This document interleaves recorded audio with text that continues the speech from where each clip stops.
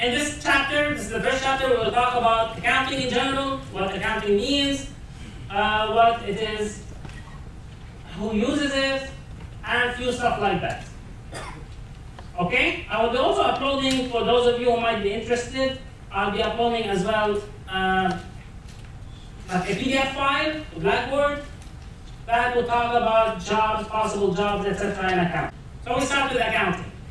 Accounting is the language of business. Why do we say that?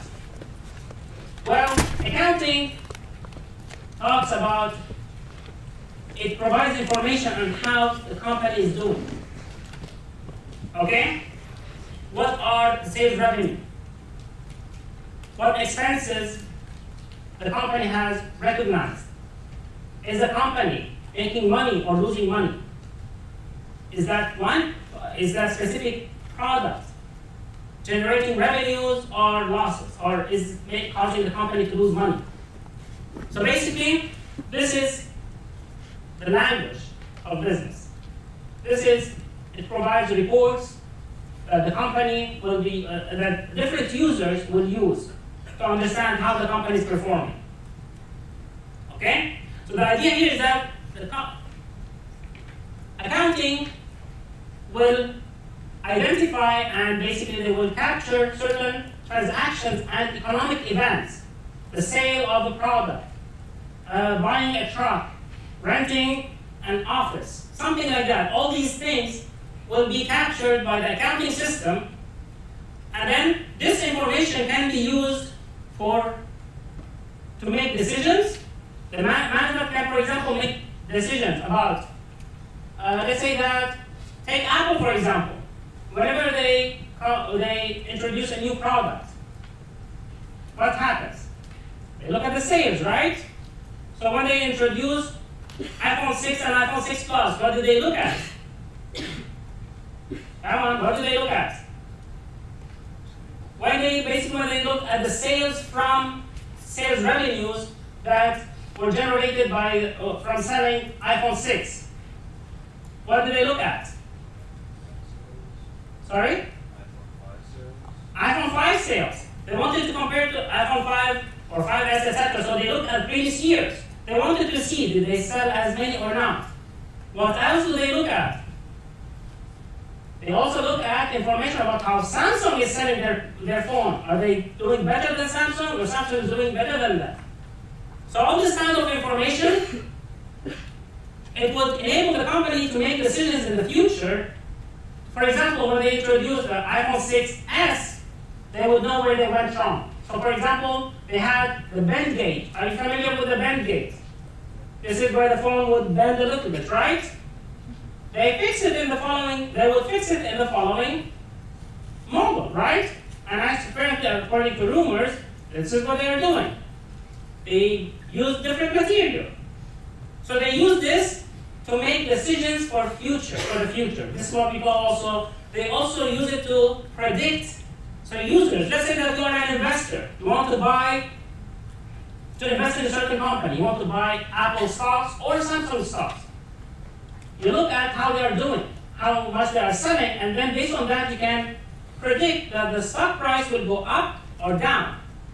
They say that they introduced a product that basically sucked. What will happen to their stock price. It will go down. So users, investors can use this information. Let's say that it's the bank. The bank wants to lend a certain company money. They need to look at the company, the company's information. And by information we mean the numbers, their numbers. Can the company pay back their debt? Yes or no? If the company is capable of paying their debt, they will give them the loan. If the company is at risk of default, the bank will not give them the loan. Okay? So this is basically when we talk about accounting. You have three main branches in accounting. Those are tax accounting. It's based on the policies that, like the IRS and the US, the IRS, and the government, basically the US government, they decide on certain tax policies, and that does not only depend on pure accounting information, it also includes what? There's a lot of politics in it. So it's not just the economy, it's also politics in it. Which party is in the office, etc. We won't be covering tax accounting, except maybe a little bit. Managerial accounting is like the decisions that I told you about Apple, what they would do to fix, uh, basically to improve the sales of their products. Questions about, like, for example, which product is generating most money? Uh, what is the optimal price of a certain product? All this is decided using managerial accounting. This is where the company uses their internal data at a very disaggregate level. Disaggregate level means at very detailed level. and the reason is that the company have access to their own accounting systems, so they have access to, they know each and every sale they made, they know how much every uh, each product costs, exactly how much it costs, and then they can use that information, which is not available to users outside the company. Only management would have this information. They don't give it to everyone. That's managerial accounting. We won't do that. What we will be doing is, what, what we'll be talking about is financial accounting. Financial accounting talks mostly about, uh, it provides information to external users. Okay? What do we mean by external users? We'll see in a second. Basically, this is, those are the financial statements of a certain company. Have you heard of financial statements? Uh, the income statement, the balance sheet of the company, those are uh, statement of cash flows, etc. Those are the main reports that are presented, that are filed, and every publicly traded company, every company on the stock market is required to file those reports. Why? So that investors would know how the company is doing. You know, when you invest in a company, you are an owner. You are an owner of that company, right? So if you buy a stock in Apple, you can say, hey, I own Apple. But you have one stock. But you are an owner there. You want to know how the company is managing your money. Right? Is the company losing money or they are making money? And why is that important? Because you can look at that time, you can you want to invest in a company, you look at Samsung and Apple, you see which one is making more money, more profits, and then you might invest in it. There are different, of course, different variables and different factors that would affect this decision, but this is in general. So, accounting, what accounting does is has three main functions. It has three main functions. The first one is that it identifies economic events. What are economic events? The sale of a product, renting a house, paying your employees, something like that. So it identified that event, and then, bless you, it's not enough to just identify it. Okay, so the accounting system found that this, uh, this was an event. Next, what do they do? We need to record it in a standardized way. And then, even if you have the information laying in your system, what's the use of such information if it's not communicated to the people, to various stakeholders who are interested in that information? So for managerial accounting, for example, you have the detailed information sent or communicated in different types of reports like budget, etc., etc., to the uh, concerned departments. When it comes to, for example, financial accounting, you have different, those financial statements are made publicly available so that the investors and creditors and all these people will be able to look at it and see that, okay, so this is, this company is doing well. Let's invest in it. Let's give it, uh, approve their loan application, etc. So the role of accountants is to identify those economic events that need to be recorded, and after recording them, the role is to communicate that information to various stakeholders. And usually it's not just providing them with reports that no one understands but you. They have to be in a standardized way, and have to provide them with some kind of interpretation, usually in the form of ratio analysis. Now what a lot of people do in companies is called bookkeeping. This only deals with one section. It only records those events. So it doesn't do the financial statements, etc. This is different. Any questions? Okay. So we have, in turn, we said that we have different information users. Those are people or entities or organizations that would use the information. Have two types of users. Internal users who are from within the company and external users who are from outside. You can give an example of internal users. Yes? Management. Management. Who else? Marketing. Marketing. Again, who else? Come on, it's not that scary and I said it's fine to make mistakes. Yes. Finance. Finance. So, basically you have people like marketing people, finance, HR, you have uh, production managers, etc. All these people are interested in this information. They use this information to make better informed decisions. You also have external users. Again, examples. I already gave you several examples earlier when we were talking. Yes? Investors. Investors. Yes? Creditors. Creditors. Uh, board of directors. Well, board of directors is kind of, it's different because they receive different, uh, uh, different than external users. Well, they are mostly internal users because they are considered from within the company. They are, they manage, so the board of directors, they manage the CEO who manages the company. Basically, they are part of the management. Yes. Competition. Yes. Government. government, tax agencies. But I know how, uh, you know, I know how the, the board, when you talk about the board and independence, I know what you, how confusing it could get. So don't worry much about it.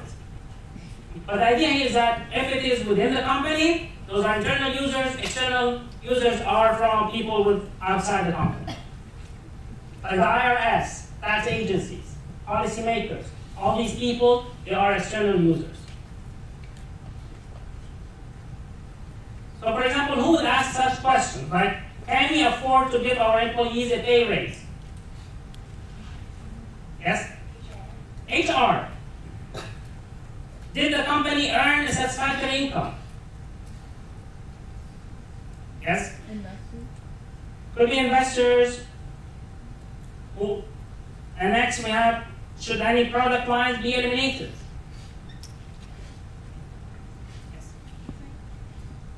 Marketing or management. So you have different, depending on each company and how specialized their departments are. But this is basically, it gives you an idea of like, who asked these questions. Okay? Now, an important thing is that and many people, this actually caused a big change in the auditing profession and in accounting in general. It was, there, there were several accounting scandals in the early 2000s. Most known are Enron, WorldCom, etc. And what happened is that there was some kind of collusion or basically there was unethical behavior from the companies on this company's side and it was not detected by or it was not reported by auditors. As a result, there was a huge scandal when Enron went down and the US government, they passed Sarbanes-Oxley in 2002. Now, or for short, it's SOX. SOX introduced a lot more stringent or more um, controls. And basically now the CEO, the CEO and the CFO are liable for any misrepresentation of their financial information. And why is that? The US government was afraid that if the people, if investors lose faith or confidence in the stock market, no one will invest, right?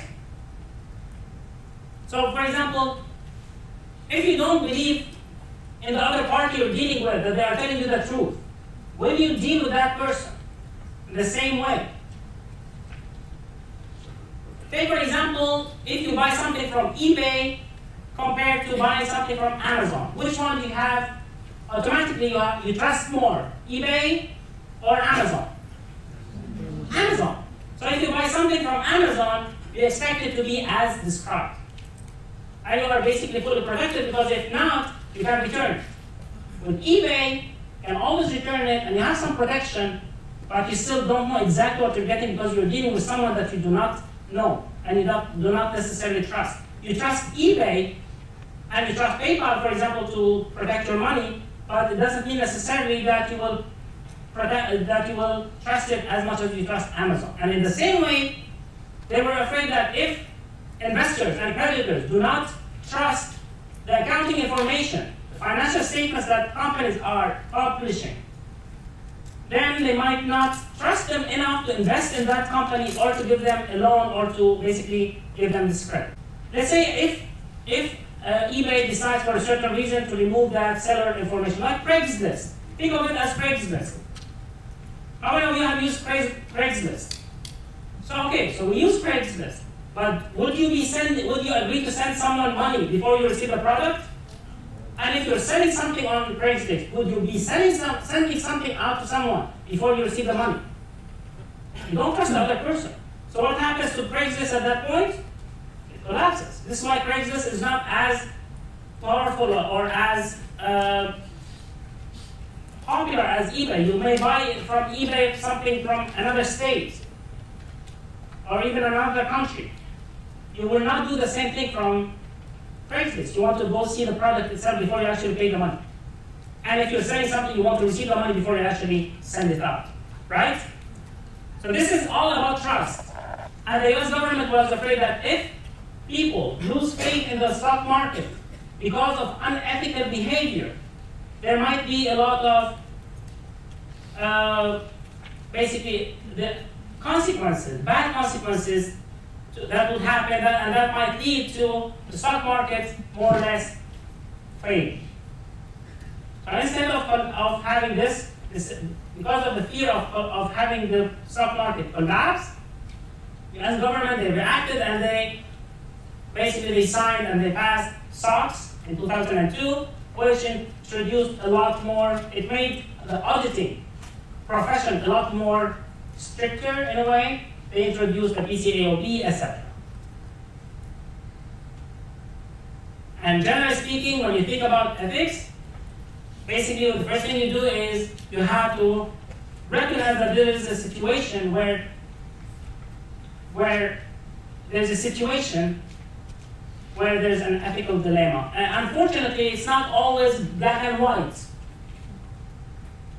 So for example, you find that the CEO is using the CEO is using uh, company jet, which costs a lot more than, I'm just giving an example, uh, a lot more than using commercial jet flights. So what, what do you think? This is ethical or not ethical? Depends. There might be other, there might be other uh, advantages for the CEO to use that one. Maybe because he's using that jet or because she's using that jet, she's making more money to the company than she's actually spending, right? So it's not always black and white. You have to actually look at that situation and you have to weigh all the alternatives. If You find that your friend is cheating on the exam, are you going to tell on that person? Many of you probably during your life as students, you saw someone who's cheating in one way or in another. Now, if someone is cheating or copying the whole exam, you are more likely to report that student, right? But if that student is just like, for example, forgot the formula or an equation and wrote that equation on a piece of paper, now it's not as clear. Am I correct? Yes or no? I will close my eye and you can say yes or no. Yes, this is the situation. And this is what happens with business. It's not always the case that it's clear what you need to do. So this is why you, can, you have to identify also, you have to look at who's, is, who's involved in this. And then you have to weigh the alternatives. What would happen if I go with alternative one? What would happen if I go with alternative two? So basically, ethics is to make sure that you have the right, you have the right. Uh, basically, it's basically telling the difference between right and wrong. And by the way, many companies they actually provide you with documentation on their ethical policy, basically their policies with regards to ethics.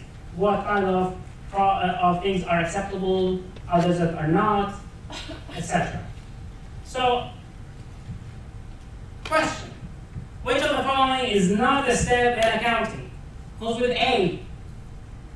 B? C? Nice. So you were listening, you were not sleeping. You were so quiet that I thought at certain point you were sleeping. That was a joke you were supposed to laugh. That's better. So which of the following statements about users of accounting information is false? Management is an internal user, taxing authorities are. Oh, okay. So A, B, C, D. Good. Ethics are the standards of conduct by which one. Okay, so that's easy. We'll skip this one. Come on, that was easy. All of the above. You see, they all mean the same thing right, wrong, honest, dishonest, fair, not. Okay. So, now we get to, again, because, basically because people would like to have some kind of the option to be able to compare the company's results. You are a potential investor and you want to look at the performance of Apple versus Samsung, okay? You need to be able to compare their information. If each one of them says one thing, it's hard to compare. So as a result, the accounting profession, they came with what we call GAAP. US GAAP, this is generally accepted accounting principles, and those principles, they are basically like the framework that is used to come up with standardized, more or less standardized uh, uh, financial reports, mostly financial statements. Okay? In that case, you can actually compare, for example, the income statement from Samsung to the income statement of uh, Apple. You're basically be co- co- you're comparing the same items, more or less. You can also use it to compare if you are already an investor of Google, for example, you can compare Google's numbers or Google's income from last year compared to this year. Is the company doing better or worse than last year? Those are the different, different organizations that are involved in accounting standards. The SEC, how many of you heard of the SEC?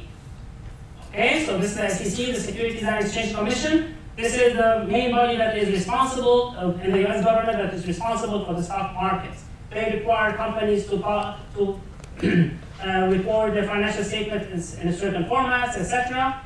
And usually they ask the FASB, or Financial Accounting Standards Board, what is the main body that actually develops or comes up or creates those standards that will be basically required by the SEC for all publicly traded companies.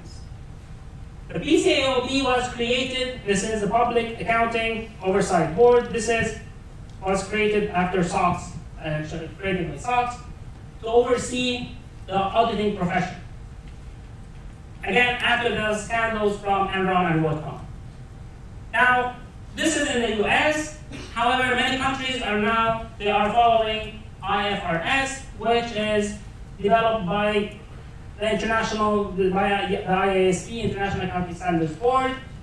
Before SOX, the AICPA, the American Institute of CPAs, was the one, basically was self- self-governing uh, organization. They used to basically create their own code of conduct, etc.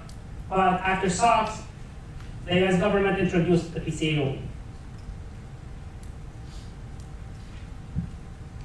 And this course, we will only be focusing on US GAAP, we will not talk about international standards.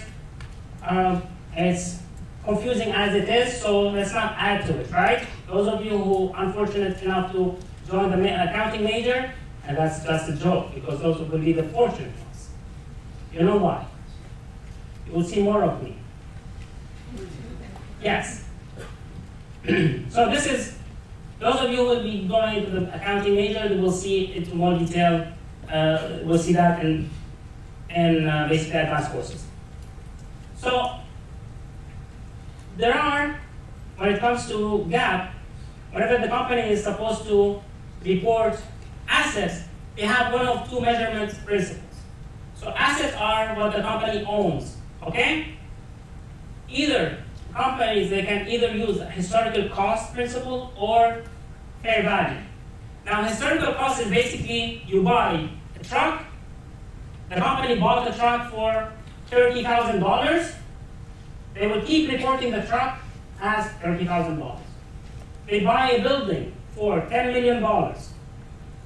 Even in, in 20 years, even if the value, the actual market value of the building is 15 million, on the financial statements, the company will keep reporting the building at $10 million at the cost of purchase. Why? Because it's easier to, to um, verify. Now, when you think about it this way, you say that why not just reevaluate it, right? Why not do an appraisal every year or something like that?